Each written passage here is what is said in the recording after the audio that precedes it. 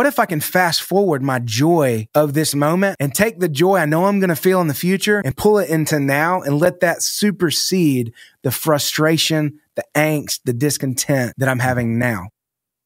Hey, I'm here with my friend Daniel Doss coming to us live from Nashville, Tennessee. How's it going today, Daniel?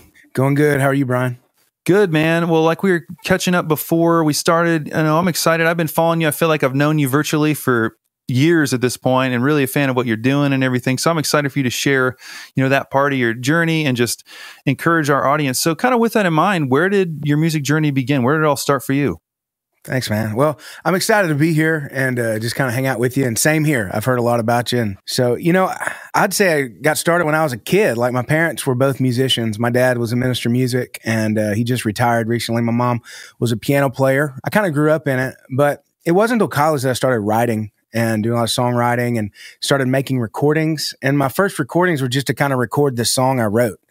And I, you know, I do it at church on a piano or then a friend of mine had a studio and I recorded that. And I was like, I think I should make a CD. And so we made a CD. You know, it's funny. My dad told me I should make tapes as well, you know, because like people were still listening to tapes, you know, and, yeah. and I was like, Dad, tapes? No, nobody listens to tapes. And he he made some tapes for me. It's funny because now it's like I don't make CDs anymore. You know, it's like right. we've I've lived long enough, been around long enough to go through that thing, and uh, you know, I just kind of started you know, growing up in it and then in college, just writing and recording my own stuff and kind of went at it from there. That's awesome, man. I'm, I remember, you know, I was the guy with tapes, you know, we had like the six CD changer, five CD changer. You probably had one of those in your room too. That's I remember playing along to those things for hours. And I would make like mixtapes, which these days that's just a playlist, right? Right. But, you know, but I remember having those cassette tapes and making my favorite mix and taking it with my friends. And you know, that was a thing. So I totally get it. But yeah, seeing the transition, you know, of music to now, like our cars and computers don't even play CDs. My, you know, yeah. my my in laws will like give us like a DVD of like a home movie. of like, I don't, I can't, I have no way to play it. I want to play it. what do I do with this? There's no means to play this, so put yeah. it on YouTube and then we'll watch it. You know, yeah. so that's awesome, man. So now in that process, were you recording? Because I know that you do a ton of production stuff now. Like, were you recording yourself, or were you just going to studios? Like, how did that kind of recording process start for you? You know, I remember when I was a, I don't know how old I was, probably 12 or 13, I, I had a tape, two tape recorders and I recorded and then I played that tape and recorded me singing along with on the next one and then bounced mm. it back and forth. I didn't even know I was doing recording at the time, but I, you know, I, I didn't do that a lot, but I just remember doing that one time recording harmony to myself. But when I was in, I guess, college, when I wanted to record, have a better quality recording than just turning the tape recorder on at church, I had a friend, a couple friends who had a studio and, you know, they had a, a Mackie soundboard and they had a, at the time they had a two inch tape reel thing, which is cool. And I didn't yeah. know how cool it was at the time, but they had some Yamaha NS10s and, and then they ended up getting like a Fostex D160, which we didn't really realize how much worse the sound quality was on those, but it was, but it was, it was cool because it was a hard drive. And so I recorded like an, an album there. It was mainly piano vocal. I had some instruments on a few other songs. And so I did that recording, that album and released it. And then after I did the next album, my friend said he was selling the studio. And mm. so I said, well, hey, what if I bought it? And he was like, Are you serious? I'm like, Yeah. And so we worked it out and I bought that studio that I recorded in first. And, you know, I don't have the only pieces I have from that studio, I still have the Yamaha NS10s. And mm. I've, I use those for years. And I just recently have I stopped, stopped using them. And I'm not sure I'm going to get rid of them just because they're part of the first studio I ever owned. Yeah. But, um, but over the years, every time I would do a new album, I would get a new piece of gear or new something to upgrade my own studio and kind of produce it myself. And then through time, I began to meet other producers that just did it better than me. And so I would hire them to produce things for me, depending on the project, whether it's a demo, whether it's for, uh, you know, a release, you know.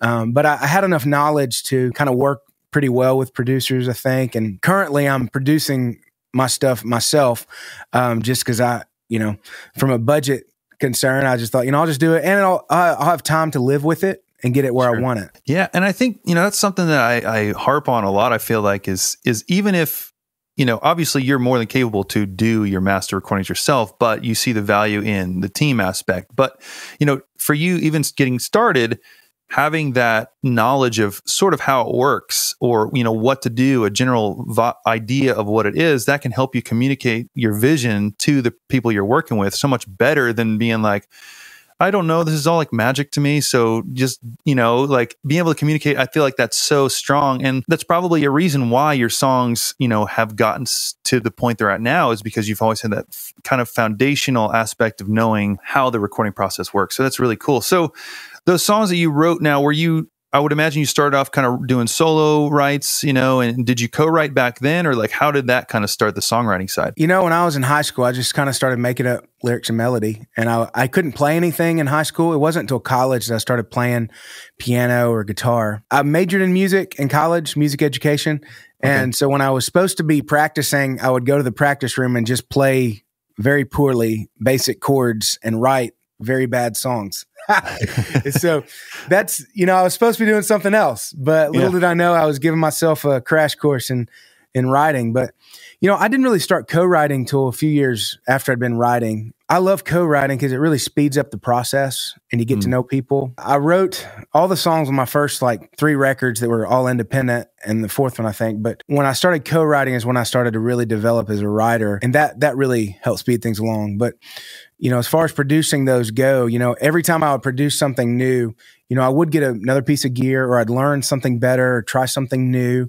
And, you know, I, I think I could have sped it along better if I'd have tried to incorporate more people in the process. But, you know, I wasn't in Nashville. You know, I was in West Tennessee, which you might as well be 10 hours from Nashville, you know, even though I was only three hours from Nashville. You know, there weren't a lot of people that were doing that sort of thing in that area at the time. I, I know that you, you were in a, you did the band thing for a while. It, did that kind of out of college? Did you form the band then and that's what brought you to Nashville or kind of what was that story like? You know, my wife's from Clarksville, which is just right up the road from Nashville. And so we moved to uh, I went on staff there at First Baptist Clarksville for a couple years, and I'd before then people started asking me to lead camps and events, and so I'd go lead events, and then I started bringing a band. And one of the neatest projects that I, I was a part of was I took a band to this camp where the the youth guy wanted to make an album, and we didn't know much about publishing or copyrights, and uh, we were like, I think it has to be all original if we're gonna do, and so me and my band, I mean, I, I wrote most of the songs. A, a, couple band members wrote a couple songs,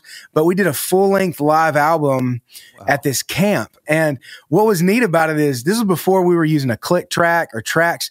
And the band was made up of like, it was like a 15 year old, a 16 year old, a 17 year old.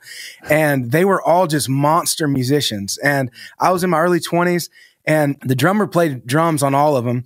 And then the keyboard player was like this prodigy keyboard player, and he mm-hmm. would switch to bass guitar whenever the bass player would switch to electric. So we had like two vibes. We had like a piano, kind of a Bruce Hornsby vibe, and then on the other songs we had more of kind of a rock, kind of a third day vibe. And cool. uh, so they would switch back and forth. And uh, man, when I listen back to that record, I just I'm amazed at these young men who just it was incredible. It was a fun project without a click, you know, and they just they just Sweet freedom, it. man. yeah. It was pretty cool. I remember, you know, reading or watching something with Jesus Culture and a lot of the stuff that like their big songs that really impacted the church and really the, you know, Christian culture is those were all their like playing those for the first time at camps, like live. And I mean, so so there's something to be said for that. And and, and obviously now these days like a lot of records and a lot of bands only do live stuff because especially in the church world catching that energy you know and that spontaneity is so vital. And i mean of course we both love the studio thing too but i think there's something to be said. So that's really cool to look back on those that in that project and see like wow like we didn't really even know what was happening, but God still used that to kind of spur inspiration. And even now, so did the, did that band turn into the Daniel Doss band, or how did that kind of come to be?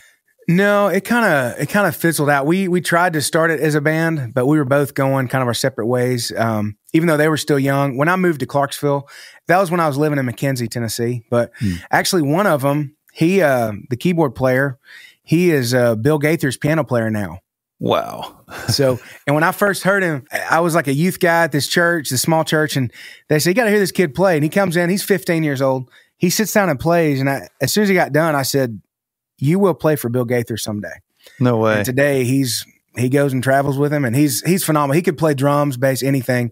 And he's a good dude. Um, he's just a really nice guy. And, Uh, but anyway, but all, all those guys um, in that band, you know, we we kind of went different ways. My the Daniel Doss band kind of came about when I felt like God was saying to put together a band and go for it. He started opening doors. It was it was really neat. I had done a an album with my college band, and one of the songs called "Love Like Rain" had gotten some traction with Worship Leader magazine, just mm. independently, just throwing it out there. And then my that independent album fell into the hands of Norman Miller, who um, he's uh, Mike J leads proper management, but Norman started it, and Mike J worked with with uh, Norman and uh, he managed uh, Casting Crowns and Avalon and Michael English, all those people, and mm-hmm. and so they came up to Clarksville and uh, and he said, "Man, I want to manage your career," and I was like, "Okay." So as long as that career is connected with a label, you know, uh, they they connected me with uh, EMI, and so I became a Sparrow artist and.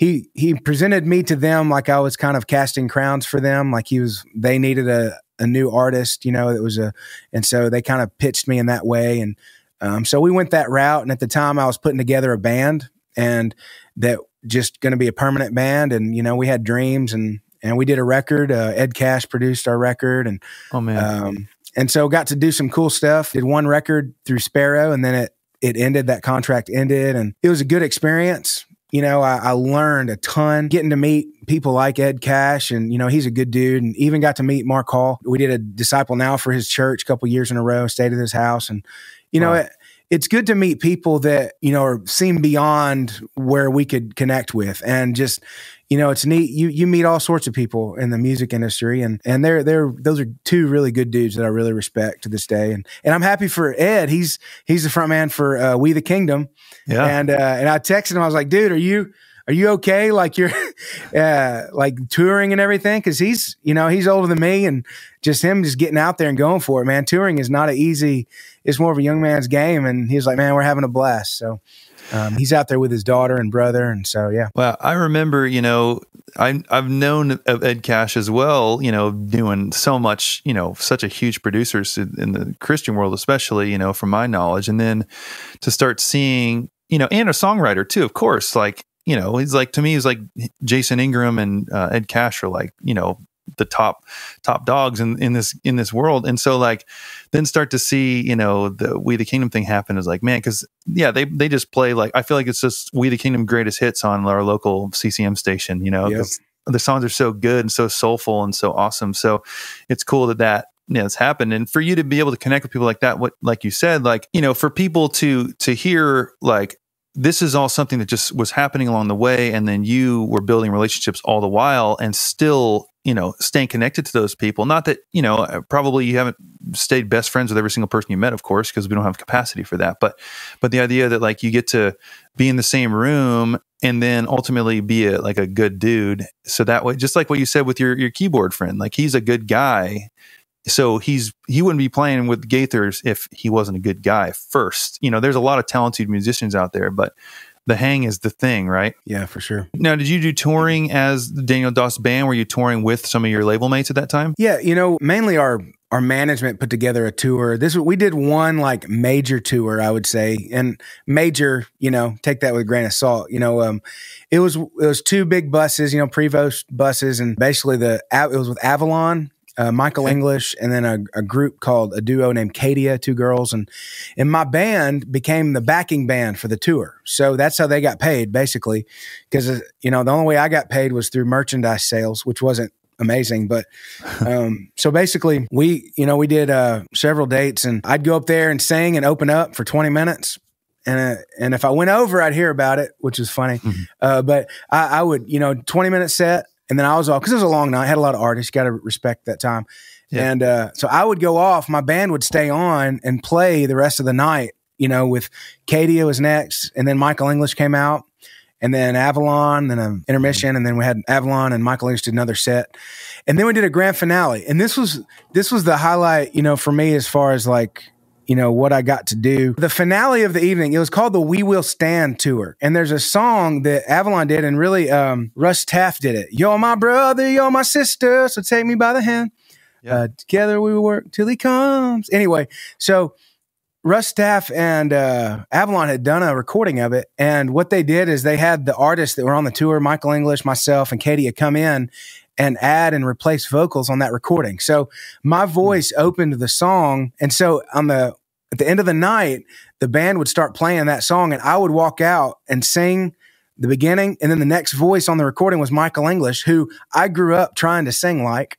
And yeah. so Michael comes out and sings and and then Avalon comes out, Cadia comes out, and it's just every night we did that. That was just a really cool moment. And you know, in the grand scheme of things, you know, we wanted to be a band where you know we do this forever. You know, it'd be our full time gig, and you know we wouldn't have side jobs or side hustles. You know, and we would just tour all the time. But you know, a lot of different circumstances occurred within that that just it slowed down. And then EMI cut like 3,500 jobs like in one fell swoop that year wow. when our record dropped. And so a lot of things kind of just came together to end that that season. But we did get to go on that tour with Avalon. We toured with Casting Crowns for a few dates, you know, out west, and that was that was a blast. And uh, we got some really neat opportunities, and I'm really thankful thankful for it. Man, yeah, sounds like that's definitely a life changing season to be in. So, you know, with that, what happened after that kind of dissolved? What's what's the next season post Daniel Doss band and the label thing? I think that in the industry, it can literally eat you alive, even as you thrive in the industry. Wow. Um, so when when dreams, so you got to keep your heart in check, and you got to maintain who you are and keep your head above water. Otherwise, it'll it'll eat you up. Some of the best writers I know, I've you know called up and they said, I'm not doing it anymore. I'm done, you know? And they just wow. got bitter um, because of things that would happen in the industry. But whenever something does fall through and end, it can be tough. You know, it can be like if it was the death of a dream, you know? And, mm. and I'll be honest, it kind of fell in my lap. The, you know, I was just kind of doing my own thing with music and it kind of opened wide open. And so, you know, I always said, you know, God opened the door. He, you know, if he wants to shut it, he can. And, and boy, did he, you know, hmm. when that door closed, something incredible opened up that, that I wouldn't trade for the world. I remember I was on the phone with my childhood friend uh, named Ben, and he was up near Chicago. And he said, Man, our church is dying, and we're about to sell the building and just launch a new church. and at the time, I was leading worship while we were touring. I was leading worship in Clarksville, a church we'd start. So we'd started a church back in 05. So we'd been going three years and it was going really well. And, and I was like, man, I can, you know, we can talk about, you know, I can come up there and consult or look at your space and maybe we could talk about what could, you could do. And anyway, he's like, man, I'm just praying the music industry crashes and burns for you, you know, and you come up here. And, I, and the next day I was having a meeting with my management and my label, Peter York and Brad O'Donnell at their EMI. And I told him, I didn't tell him what was about to happen, but I just said, man, you never know what can happen in a day. And what mm. I did know is that we were going to talk about whether they were going to do another record or whether they were going to end the relationship. And so basically they, they ended it. And, and I remember in that meeting, I said, well, I, I said, you know, I, before I met you guys, I was writing songs, leading worship, traveling and working in a church. And while I've been an artist with you guys, I've been writing songs, leading worship on staff of the hmm. church. And I said, after this is over, I'm probably going to be writing songs, leading worship on staff of the church, you know, like I'm going to keep moving on, you know, and, and they are too, you know, they, um, they had their own challenges to face as a label and as a business. And it was really tough, but, but something that I noticed about myself is I don't, I don't think I was enjoying who I was becoming as a person, as mm. an hmm. individual. I was letting some things in the industry get to me and I my heart was not in a place that I don't I don't think I would really like myself right now had that taken off like I wow. was hoping it would. So anyway, this church we went up to near Chicago in Valparaiso, Indiana. We went up there and helped launch this church. It was special, you know, to stand in Lake Michigan and baptize uh, a couple and watch them turn around and baptize their kids, you know, mm. and just have a, li- a line of people out of the water, you know, out on the beach side, just waiting to come in and you know tell everybody they're following Jesus, you know, and watch God do a work in people. And man, that was I wouldn't trade that for the world. And so I that was about we were about three and a half years there, and uh, Grace Point and Valparaiso, and man, I, I, loved that season. We loved it. That's a great town. The mayor there is a musician, and so he came and played at our church, and that oh, was super sweet. cool. Uh, but man, it, you know, it's like in the industry, when you're in it and working for it and focus so much on it, the tendency is to think that that is it. That's the ultimate. But as mm-hmm. I've over the years, I've realized that everybody is looks to somebody else always and has some sense of maybe it's not full on jealousy, but it's like you just struggle with wanting to be there, you know? Um, mm. And, and that, and that can really eat you up unless you keep your heart in check and know who you are and what you're called to be. Man, that's so good. And yeah, I mean, so many people view the signed artist as the top position you could ever have in a career in music, right? I mean, that's that's so many people's goals. You know, that's like every kid's goal. That was my goal when I was 14 years old, playing bass guitar for the first time. Like that's what you think you're after. Mm-hmm. So for you to go through that experience and realize that that for one can just be a season that can come and go at any time, but most importantly, it literally doesn't define who you are and in your experience, it was trying to change you, but for you to be aware of that, maybe not so much at the time, but even I'm sure you had some discernment about that, like that that wasn't your, you know, final resting place per se. And and even the season after that sounds like, you know, because obviously you're in Nashville now. So, you know, that but but to recognize that I feel like is so valuable to, to anyone listening. Like we can't define ourselves by if we make it or not, if we get the the record deal or not, because like like you're saying, like that's that's not the be all end all, you know. So I love that you shared that, and I love that you have that. You know, that takes a maturity though to you know to go through that and, and come out on the other side. Because I'm sure a lot of people, like you said, they quit. Like I mean, you have friends that have quit because it's too hard or whatever the case may be. But so I love that, man. So so after that church planting experience, like how did you end? Did you come to Nashville after that? Yeah, we were um, we were there for three and a half years. Then I went to another church for a couple years in the northwest suburbs of Chicago. It was a multi-site church, and I wanted to experience that sort of church setting. And it had like eight campuses, and that was wow. that was cool because usually in a, in a church you're like the only worship leader or one of two, and yeah. like in the eight campus setting, we had like a bunch of worship leaders. And mm. so we would get together every, you know, month or a couple times a month. And uh, it was just a cool community. I really enjoyed that. But we had a death in our family that caused us to move back to Tennessee. Both my wife and I are from Tennessee. And so we, we moved back to Clarksville with no job or nothing. You know, I, I looked, I was talking to a church, but that fell through. And my wife just said, let's move. And I was like, that's weird because usually I'm the one that's like, let's move without a job. But, you know, she was, but we did, you know, God provided and, and we, we took a step of faith and, and I told her, I said, I think I'm supposed to write again and focus on writing. And so when we moved back, I committed to have an itinerant ministry where I would travel to different churches. And, um, and one of the things I did, I took a, a sabbatical and also I began during that sabbatical, I would go down to my studio to the basement and write a bad song or write a song. You know, I call mm-hmm. it bad, but I would write a song and I would commit to making a demo.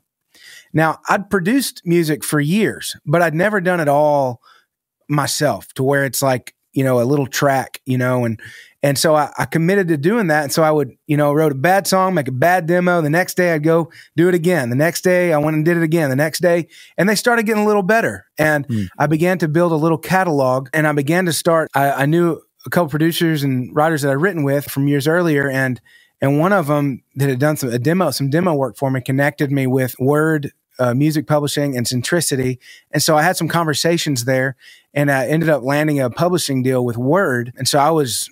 You know, I think we exercised all the options except one. They, when they signed with Curb, things kind of changed a little bit when they went to Word Curb, and so they went through a, like few years of kind of trying to figure that out. And so, but it, was neat because I, would never been just a writer. I'd always mm. just been the artist. And so I would show up, you know, word is there. It's, if you've ever been on Music Row, it's got one of the coolest buildings, like this silver building, like a spaceship. And, uh, and so it was, it was really neat to show up and, you know, you'd, I'd meet a new person and we'd write, you know, from 10 to 1 and then you know, I'd meet somebody else. We'd write, you know, that afternoon, and I'd go to a different studio in town and do some writing, and and it was a, it was a fun time. I got to um, write with a lot of different people and had some good opportunities. You know, it goes back to you know the success you have in the industry. You, it's hard to not compare and be tore up over who gets in what room and whatever. But but when I look back on that time, you know, I had some incredible opportunities. Um, mm. I got to write, me and uh, Matt Armstrong and, and Tony Wood, two different times, went to Passion City Church and wrote there with wow. these guys that were connected with Housefires. And, mm. and they, you didn't, I'd never heard of them. And I wrote with them And turns out I was sitting there writing with who we all know now as Dante, Dante Bowe, you know, and wow. uh, wrote with him and there at Passion City and uh, and a couple other people that you know you've heard of. And and it's like you know I say those names just like not to be like wow look at what I've done but be like wow like I, God took me to places that I got to meet people and he wasn't he wasn't they weren't even formed Maverick City yet. You know that wasn't even a thing yet. Yeah. And and I didn't know what was happening. I just knew I was just like this is a cool ride. Just enjoy it mm. and and sure enough you know after a few years that publishing deal came to an end and I'd built enough relationships where I just kind of kept, I wrote with different people that I would just call up. And I'm not writing as much now. You know, I'm working on some of my own stuff. Mm-hmm. But, you know, it's like, even with that deal, you know, I have to, you have to be careful in your heart to be like, oh man, this ended it's over. You know, it's not, or, you know, you want to chase something else down. Or I met with a couple publishers, you know, those didn't look like good fits. And I, I'd gotten to a point where I didn't feel like I was needing to write every day all the time. I was, wasn't burnt out necessarily, but I just needed to just step back a little bit. Anyway, but that was a neat, a neat ride to get to go ride at Word for a few years, and I have you know great relationships, you know, people there. So wow, so much there. I mean, for one, I remember hearing Housefires you know, back when I first started at the church, I worked at a church for six and a half years, you know, worship arts pastor, whatever. And like we went to experience conference in Orlando. Have you have you ever been at experience conference? Yeah. So we were there and I remember like like there's this band called Zealand and they played this random song called Good Good Father and I was like, that was pretty cool. But it was like their version was like pretty like rocking, you know? Yeah. So then that's what l- pointed me to discover Housefires. I mean, to this day, I mean, I was literally listening to Housefires earlier today, like open spaces or whatever. Like I love cool. that vibe, you know? So that's so cool yeah. that your open handedness has led you to all of these. I mean, honestly, just the things you've said so far, like all of those things individually are people's like end goals, you know? And because you've just kind of open, like I said, open handed, gone through them. God's just kind of letting you experience all these incredible things, like all kind of in sequence, right? I mean, but it's it's got to be because you're a humble person and you're just serving God along the way. You're not making it about you. You're not getting, you know, puffed up like, look what I accomplished. You're just like, hey, this is where God has me. I'm going to live it up, soak this up, and then we'll see what happens tomorrow, right? yeah. It can be a challenge. You know, like I said, I think the the challenge in your heart is focusing on something ending versus focusing on what actually happened. You know, because mm. I, you know, I, I, do look back and I think, man, I, I wish I could have been more successful as an artist. You know, I wish, you know, I wish those when I was a writer, I'm like, I wish those artists would have called me back. You know, I wish that mm. relationship would have burgeoned, you know, a little more. And, you know, and there there are things and opportunities that I wish would have led to more.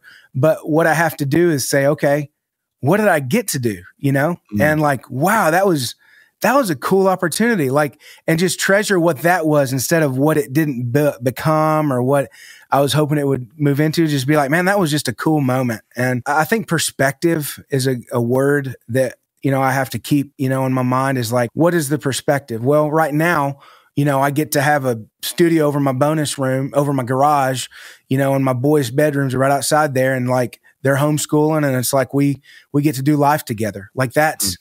to me at the end of the day nobody the person's going to be sitting by your bedside when you're taking your last breath aren't going to be the people that you wrote songs for or produced for or sang for it's mm. going to be the the people that loved you the most your family that's close to you and you can't outsource that I can mm. outsource production on a record. I can hire a producer, produce a record for me. I'll come in and sing get writers to write it. You know, I can outsource all that. I can't outsource being a dad. I can't wow. outsource being a husband. That is the only thing I can do. And so, and nobody else can do that. And so hmm. that's, that's what I've, has been my main focus is positioning us as a family, whether it's through leading worship at a church, which I do now, uh, kind of uh, part time ish. I don't have, I don't go in for a lot of office hours, uh, but I travel as well, and we'll travel together. You know, and so you know, I've just tried to have a perspective of, okay, at the end of the day, you know, nobody really cares if you've won or how many awards you've won, which I haven't won any um, or been nominated. Um, nobody really cares whether you did or not. We're just mm-hmm. floating on a little blue dot in the middle of the universe and nobody gives a rip, you know, but there are a handful of people that do. And they don't really care if you get those awards or not. They just care if you're there and if you love them. Man, that's a mic drop moment right there. I love that. So, uh, I've, have you ever heard of the book "The Gap and the Gain"? No, no. Who, I'll have to send that? it to you. So it's it's this really amazing book, and it's exactly what you're talking about. So basically, what it says is when most of us, you know, live in the gap, which is when we measure where we are now to the ideal place that we hope to end up someday. It's like chasing the horizon. And then the idea is the gain is when we look at what we've accomplished, what we've done. It's instead of measuring to the oblivion, we're measuring back towards our past selves, only looking at the things we've accomplished along the way instead of what we hope to gain one day.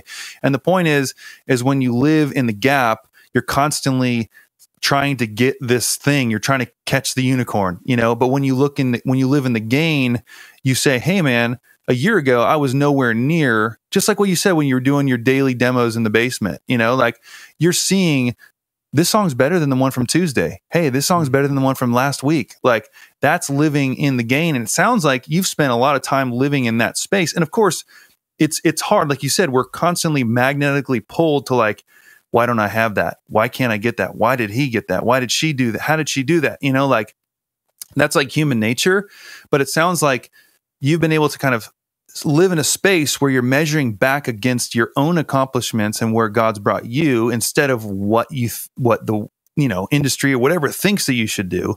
So that way you can actually have pride and have joy in the successes in the journey instead of like this imaginary horizon that we can't ever catch, you know. So mm. I'll have to send you that book, man, because it's really good. It's really rocking my world in this, especially in this new year right now. But just in general, it's like yeah, I live in the in the gap like all the time. So yeah, I hear you.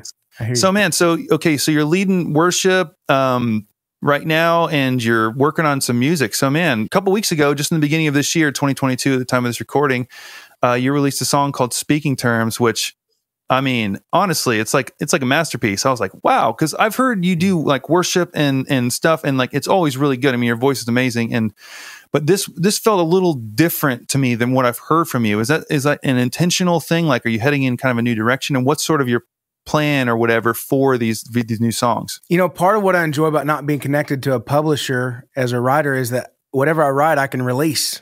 Like. Yeah when you're writing for a publisher, you kind of gotta you're writing for another artist, you know. And so, whereas these songs that I'm writing, it's like, well, I can do whatever I want. I don't have to like call anybody or get a license or just put the thing out there. And so that's one of the freedoms of not being signed with anybody.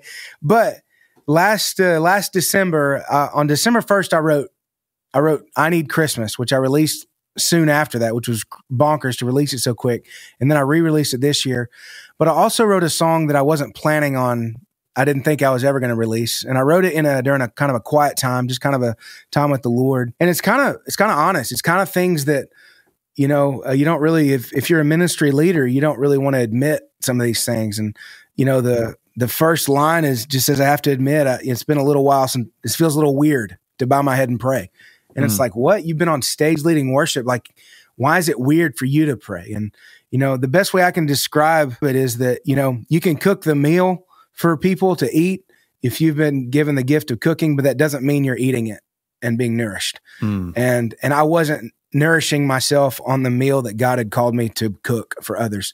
Wow. And and I remember, uh, you know, over I've been leading worship for 25 years now. It's like over the years you'll hit seasons where it's like, God, I wish I could partake right now of what I'm helping to be a part of serving here, but I just feel so far. And wow. and there are times where you feel so near, you don't know what to say, you know, um, to the Lord. It just feels so uh, close to Him. But this song, I remember just writing from a very honest space, and I played it for my wife, and she, you know, she hears she's my guinea pig, and she hates it half the time just because I have so many songs that I write. You know, I so I'm I try not to show her too many, and uh, but this one I showed it to her and she she was emotional because not because it's like a great song or anything, but because of what it meant. And it, meant that I was making an effort to go come back to the Lord in my heart because she knew I was walking through a tough season in my heart of what you know 2020 was tough for everybody and everybody has their own ways they processed and uh, you know i i felt like god had called me to something and i stepped out in faith invested a lot and it just fell through. And, you know, I just, uh, you know, felt, you know, I wrote in the song, I felt like I was betrayed, you know, and uh, and so you know, but but yeah, the song was really raw and honest, and I wrote it and recorded a vocal and a, a piano and a vocal, and just forgot about it. Then this last summer, I found it when I was going through some recordings, and and I as I heard it, I thought I, I think other people might resonate with this, and I said I. You know, in that moment, I was like, I don't think a lot of people will, but I think some will, and I think it's worth putting out there. And I was like, I probably won't make any money off this song, and but I'll just put it out because I feel like I'm supposed to. And so mm. I called my friend up, Foster, to add some guitar on it and got some vision for the vibe, and then I got some other instruments on it. Buddy Green played harmonica. Have you ever heard of Buddy Green? I haven't, but I heard the harmonica part is great. He is.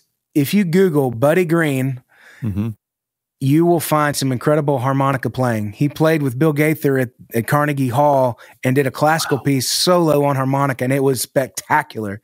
Wow. Um, but he was here in my that. studio, standing right there, oh, recording man. on this song. And I had him record on some other songs. And I appreciate the people I got to play on it didn't overplay. And it's almost a very understated kind of a vibe. You know, it just, it's more of a moment than it is like you're not going to be wowed by production. Hopefully, it just kind of draws you into this raw space of honesty. Is kind of the goal of that. Man, well, I mean, it. I saw it. It, it showed up on the New Music Friday Christian playlist. So I mean, it's it's resonating with people already, and I, it seems like it's streaming well. And like, I love that though. And it's so it's so much your story is like you didn't put it out to be like, look at this this amazing song I wrote that you guys are going to love. You're just like, you needed it for you and i feel like that's the honest place uh, that's where all great songs begin is when the writer writes it for their own season because they need it you know to connect you know? And in that honesty and that vulnerability so many of us i mean i resonated with the lyrics too you know, and I didn't even know the story behind it, you know, and I'm sure that there's thousands of others that have and will continue to. So I love that that you just feel compelled to to be able and like you said there's a freedom to just get out what what moves you, mm-hmm. you know. So do you have other songs kind of in the tank that you plan to put out this year as well? Yeah, um so this was in my mind as kind of a conversation starter. Um, I have probably uh, six or seven more songs I'm planning to release uh, in the upcoming year, and uh, probably a couple more than that. Even I, uh, I would like to release a vinyl record, a physical record. Remember when you could hold stuff, you know? Um, I want to release a vinyl record this fall, and so I'm the sound I'm going for with this record is, you know, it sounds absurd to say, but I want it to sound like something I would expect to hear on vinyl, mm. which doesn't make sense really because all sorts of music was produced on vinyl. But in my mind, I've, I, it's something that feels timeless. You know, it's mm. not something where I, I dug up some sounds on output, you know, or the latest vibe or sound, or, you know, I, I want it to be something that 10 years from now, it'll, it won't sound out of place, you know, it'll, and even 15 years, you know, it's like, I want it to be something I want to listen to 10 years from now. And so that's, that's what I think of when I think of vinyl. It's got a raw feel to it, but this song I have coming out is a song we wrote here in this studio with um, some friends of mine that we've started writing the last two or three years Jonathan Jackson, Holly Salazar, and Emma Feldman. We've started writing here. I call my studio the Threshing Floor, and we've released songs as the Threshing Floor. Yeah. Um, anyway, this song Revival is one of the first songs we wrote together. And we've been waiting to put it out, and I just feel so close to it. We've put it out. It's actually out there, but it's just piano vocal. Mm-hmm. Well, I took it and kind of turned it into a band vibe and I got some different players to play on it and getting it mixed hopefully in the next week or two and hopefully have it out in about a month or so. So that's the goal. And then going to release some more songs like it in the next few months. Man, I was going to ask you about Threshing Floor because I'm a fan because it, it has that Housefires early Mav City vibe, you know? Mm. So, and I know that song Revival because I've listened to the Threshing Floor stuff. And so that'll be, that's exciting to get to hear, you know, the, fleshed out version of the threshing floor song. That seems like a tongue twister right there. right on. so, sure. so, then, and and then you also you also release you're doing stuff with that group because Jonathan Jackson and Holly Salazar have been on the podcast. Also, I need to get Emma on there. I mean, on here too. Uh, she'll be next, so we'll get the whole yeah, crew. Yeah. There you go. So, but but you guys have all my friends too, right? You guys is that the same collective? Yeah. So basically, we just kind of started writing together, and before the pandemic happened, we we had connected somehow. I I connected with Emma back when I was living in Clarksville.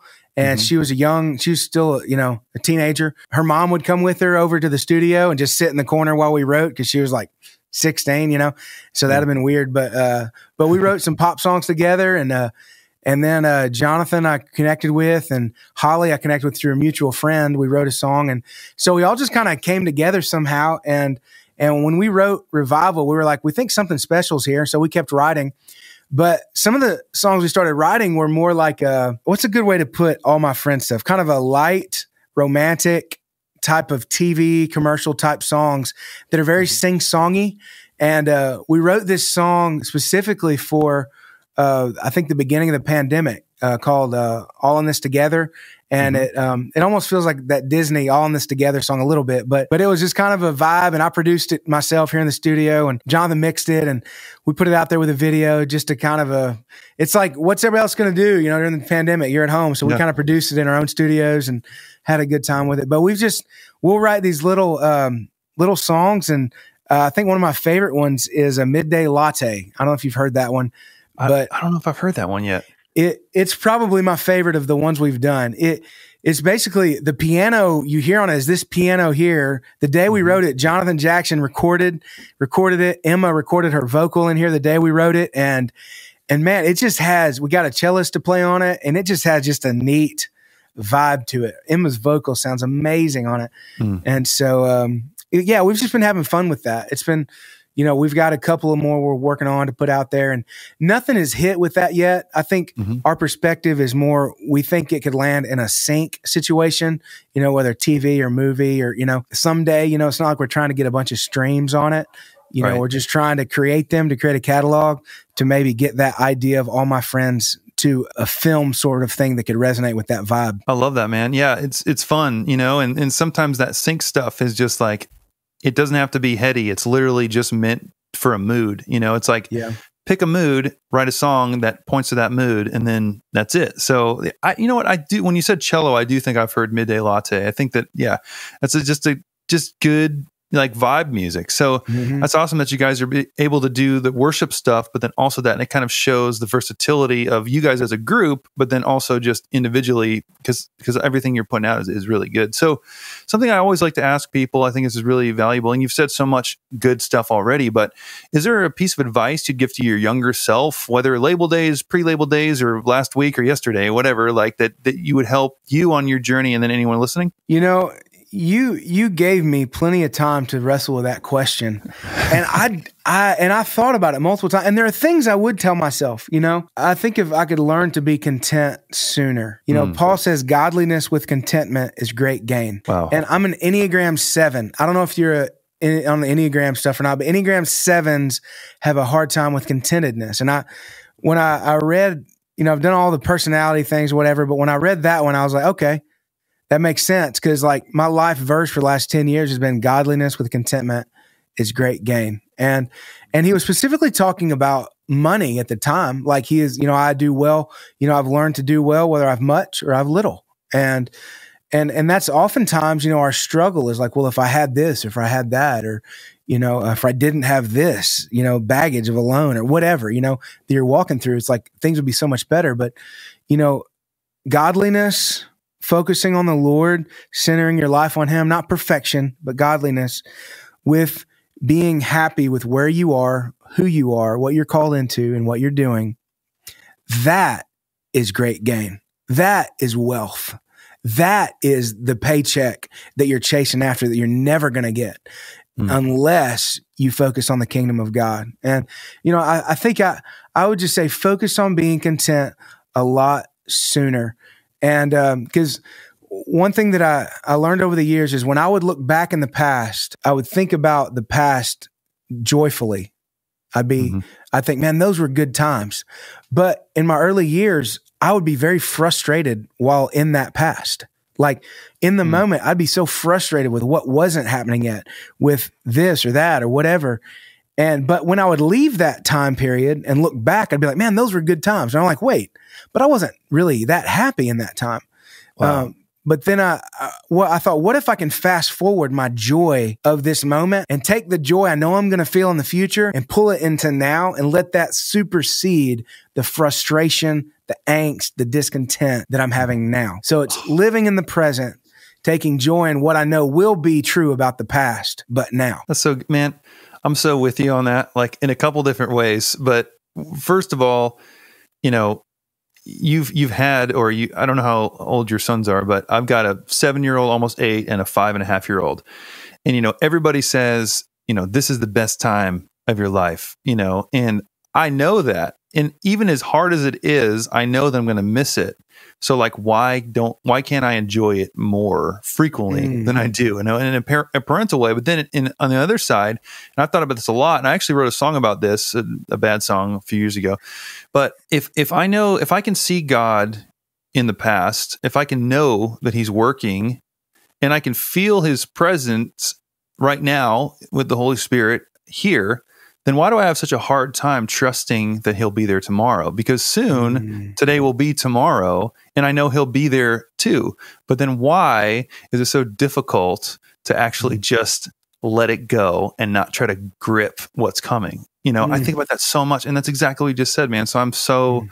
there with you. That's so important. And why is it so? Why is it so hard? it's, it's a challenge. You know, there's a, a phrase that we have a placard of in our kitchen that says, These are the good old days. Oh, yes. And that I'll, when I look at that, I have to remind myself, you know, sometimes I've walked up to my wife on bad days and said, you know, as bad as today is, in 20 years, we'd, we'd spend a million dollars to come relive this day. Another mic drop moment. You're just, you're just you're just dropping those 57s on the floor, man. That's hilarious. Well, at least they can endure the drop. We know they can. We've all got, I've got a dented one in the case behind me. Come on. man. So thanks for doing this. This is, it's been a blast. To, like I said, you know, I feel like I've, I've seen you for years. So it's been great to connect here. And, you know, before we go, I always love to have people, you know, let people know how they can find you. So what's the best place to find you other than, you know, I'll link it all below and everything, but wh- where can people connect with you? Yeah. Um, you know, if you want general information, my website has some general info on it. Um, and but I would say Instagram, uh, just Daniel Doss Music, or Facebook are the two best ways to get in touch with me. Um, you can through my website. It's not it's updated. The dates are, but the music isn't super updated. Uh, but yeah, uh, we'll love to connect on Instagram and uh, you can that way. Cool. And I'll link Spotify below so people yeah. can stay up to date with these songs coming out and go check out Speaking Terms because it's a great song and I'm a fan. So thanks, man. And I'm excited to hold that vinyl record this year. So yeah, it's going to be thanks, good. Buddy.